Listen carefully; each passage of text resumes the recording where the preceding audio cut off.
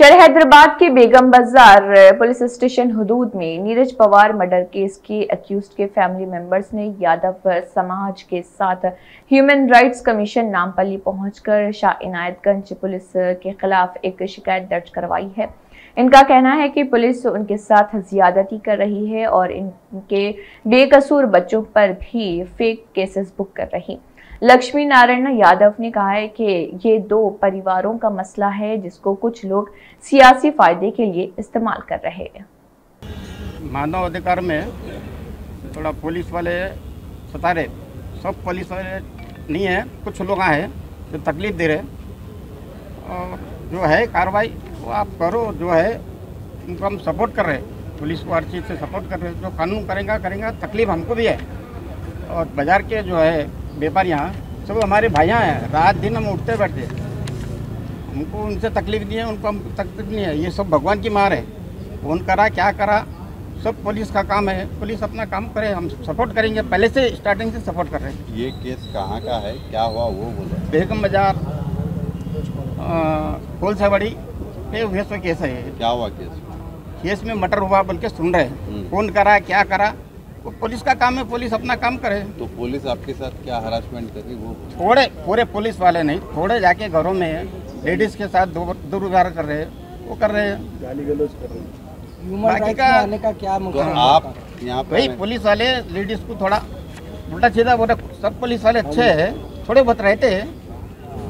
थोड़े लोग जाके कुछ गलत बातें बोल रहे हैं और तुम घर में जा रहे हैं। है। वो है हम सपोर्ट करने के लिए तैयार लक्ष्मी नारायण यादव यादव समाज से रिलेटेड रखता हूँ। एक घटना घटी कुछ रोज पहले, पिछले हफ़्ते, कि एक लड़के का कुछ यहाँ पर कत्ल हो गया। उस सिलसिले में ये दो पारिवारिक मामला है, मगर पूरे समाज को जिस हिसाब से ब्लेम कर रहे, जिस हिसाब से इंटेलिजेंट लगा रहे समाज के ऊपर, ये गलत है। जब पुलिस अपना मुस्तैदी से काम कर रही है कोर्ट में मसला है, वो कोर्ट देखेगा कि वो दोषी है या नहीं। तुम अपने आप में जिस तरीके से हमारे समाज के ऊपर एक अलग तरीके से प्रोपोगंडा चला रहे हैं, सब अपना अपना राजनीतिक रोटियाँ सेक रहे हैं, मैं उन सभी से कह रहा हूँ, ये बंद कर दो, क्योंकि हम भी कानूनी सलाहकार से का मदद ले रहे हैं, हम भी इसके ऊपर कानूनी कार्रवाई करेंगे। इसके लिए आज ह्यूमन राइट्स कमीशन को आने का मतलब ये है कि हम जो परिजन है ये, जो लड़कों के, उनके मन में यह है कि पुलिस उनके साथ में एनकाउंटर कर सकती है बोल के हम सारा समाज इकट्ठा हुआ है ये किसी का एक का नहीं है। जो भी है तो पारिवारिक मामला है तो आप पूरे समाज को जिस हिसाब से घसीट रहे हैं वो गलत बात है।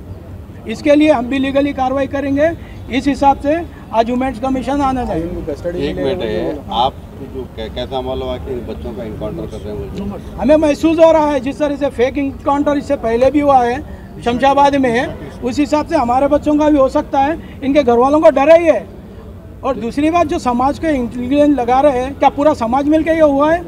अरे, तुम आप कैसा साबित कर सकते इसके अंदर कि बच्चे दोषी है? अभी तो ये कोर्ट में मामला है। हम न्यायपालिका के ऊपर पूरी तरीके से विश्वास रखते हैं। जो भी कोर्ट आदेश देंगे, हम उसका पूरा सम्मान करते हैं। ये आप पर्सनली ये करो, वो करो।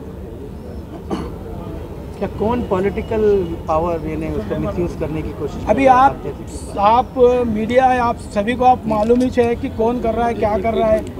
एक मिनट भाई वैसे मैं नहीं। दुर्गा अब आई हूँ। या क्यों आए आप लोग? यहाँ हमारे बच्चों की सेफ्टी के लिए आए हम। हमारे बच्चों को इनकाउंटर करते बोल के बोल रहे डरा रहे धमका रहे हमारे को हमारे बच्चों को उठा के लेके जाते बोल रहे घरों में घुस रहे पुलिस वाले।